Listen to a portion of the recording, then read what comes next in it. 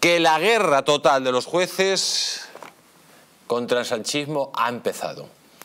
Atención, la rebelión del Poder Judicial ante el golpe al Estado de Derecho ha empezado y ha empezado con más fuerza que nunca. Lo hemos visto hoy.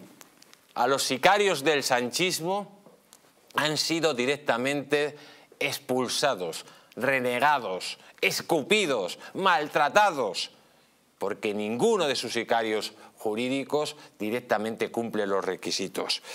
El Consejo General Poder Judicial ha vetado, atención, por ocho nos, siete sí y una abstención al fiscal general del Estado, al señor García Ortiz, por falta de idoneidad.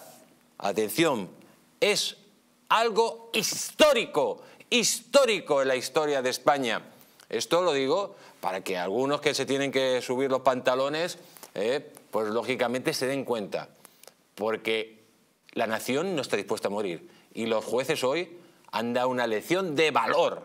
Sí, señores, hay que actuar así, no hay que dejarle pasar ninguna. ¿Y por qué directamente ha dicho esto? Pues lo siguiente, amigos. Atención, que en su momento este señor pues eh, nombró fiscal de la sala togada de lo militar a su mentora, a la señora Lola Delgado. Y esto lo han considerado como una desviación de poder para beneficiar a su mentor directamente. Pero ojo, que el Consejo General del Poder Judicial también ha visto una pasividad fuera de lo común ante la petición de ayuda de los fiscales y el ataque que están haciendo los separatistas y el gobierno de España por el lawfare. Atención, que mientras están pidiendo ayuda porque el gobierno quiere ir a por aquellos que juzgaron el 1 de octubre y los separatistas también con comisiones en el Parlamento, este individuo, este comisario directamente mira hacia otro lado. Y ya le hemos visto eh, cómo actúa, porque ya el tribunal, eh, el Consejo General Judicial, o cuando echaron en su momento a la señora Delgado, ha dicho que él no va a quitar a la señora Delgado. Esa es otra directamente. Pero a esto hay que unir lo siguiente, amigos. Hay que unir lo siguiente, porque el Supremo ha anulado el nombramiento de Sánchez a Magdalena Valerio como presidente del Consejo de Estado. Atención, esta sentencia del Supremo, que sale el mismo día, considera que las ministras socialistas no reúnen los requisitos legales de jurista de prestigio, de reconocido prestigio. Es una sentencia eh, dictada eh, en función a una demanda puesta por Hay Derecho.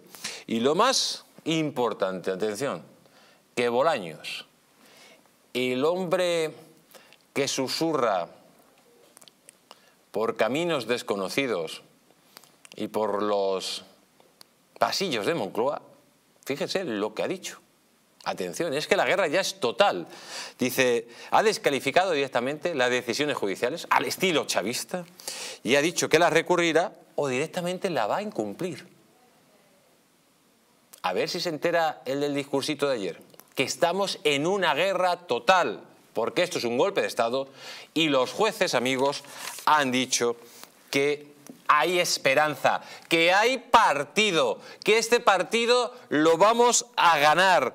Y Sánchez por primera vez recula, Sánchez empieza a hundirse porque sus incumplimientos de las leyes cada día son más fragantes y si el Poder Judicial, el poco que queda, está dispuesto a luchar, seguramente que podamos tumbarle con la ayuda de todos. Por lo tanto, amigos, primer ¿eh?